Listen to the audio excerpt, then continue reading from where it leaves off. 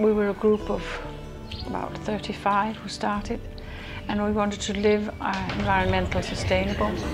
Wanted to, to live it and not just talk it.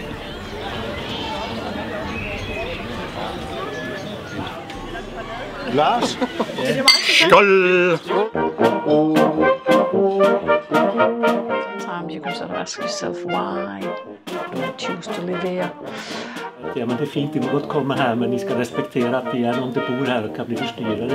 Så hvis du kommer ihåg att säga det för mat det ska det gå och så något. I don't know if they will live here, uh, but but I hope they will they will have learned something from growing up here and, and living here. Of course, uh, interacting with people also causes problems.